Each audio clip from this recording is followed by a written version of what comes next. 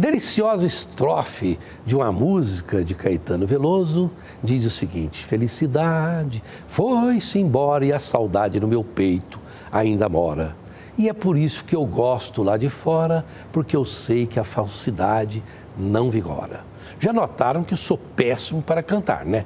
Mas o que importa aqui é saber que, segundo uma análise do Road Happiness Report, aponta seis fatores-chave para explicar a variação dos níveis de felicidade em todo o mundo: apoio social, rendimento, saúde, liberdade, generosidade e ausência de corrupção.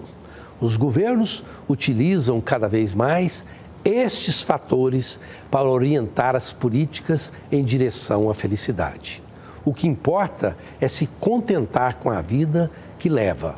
Embora o brasileiro seja cordial, sempre com sorriso generoso, está longe de ocupar um lugar entre as nações mais felizes no planeta.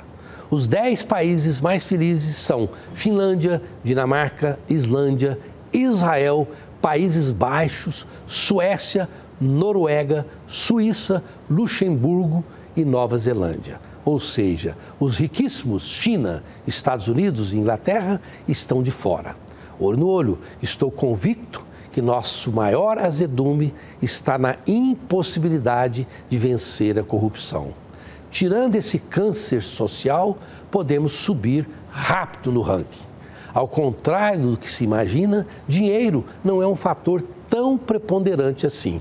Se fosse, ai, ai, ai, milhões de patrícios estariam rosnando uns para os outros. É ou não é?